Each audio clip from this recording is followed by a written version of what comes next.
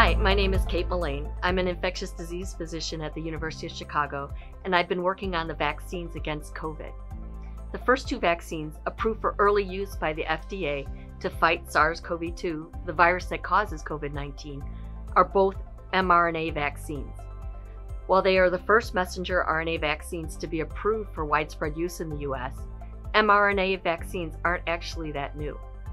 The vaccine platform was initially developed in the early 1990s in an effort to create safe and effective vaccines in a pandemic situation.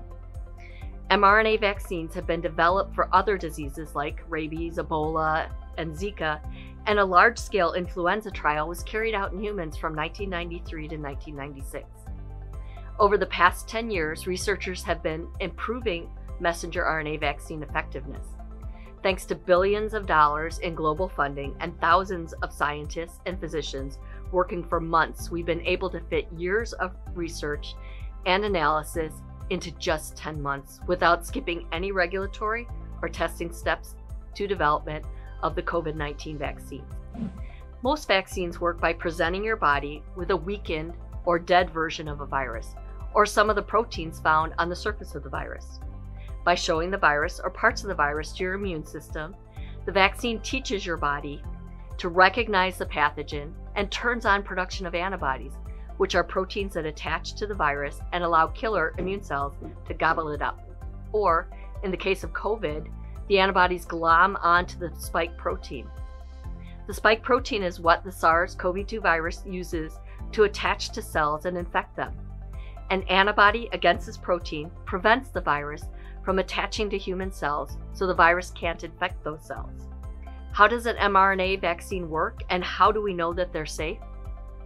mRNA or messenger RNA vaccines teach the immune system to make memory cells so that if you are exposed to the virus at a future date, the immune system has the ability to rev up production of antibodies rapidly and fight off the pathogen again in mRNA vaccines is a copy of the genetic code used by the SARS CoV 2 virus to make the spike protein. When the COVID 19 epidemic arrived, researchers from around the world sprang into action to identify and insert the correct genetic code into the mRNA platform. mRNA vaccines give that recipe to our immune system. Rather than presenting your body with the dead virus or parts of the virus, mRNA vaccines show your body the blueprint needed to make a viral protein. Your body uses that blueprint to make the SARS CoV 2 spike proteins without including any part of the virus itself. Once the body has created those spike proteins, the proteins are seen by our immune system, and the immune system is able to respond in the same way it would to being infected with a live virus. In this way, it works just like any other vaccine platform preparing your body to fight against the virus if it's ever encountered in the future. However, unlike attenuated or killed vaccines, the person is not infected with a virus, not even one that's been weakened or killed. mRNA is a small, fragile fragment of genetic information that's rapidly broken down within the bloodstream and within cells. While it's a type of genetic material, it cannot interact with, bind to, or affect DNA. It cannot even enter the cell's nucleus, where the DNA resides.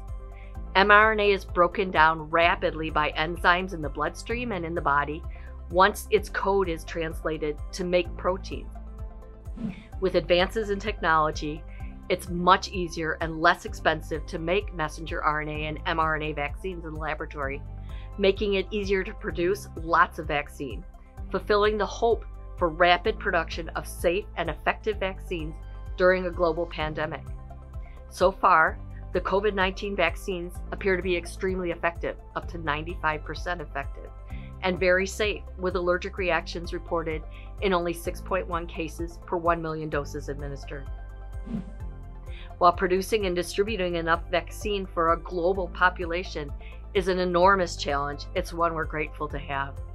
As a physician, it's my hope that these new vaccines will allow us to protect our communities and ourselves, and finally overcome COVID 19.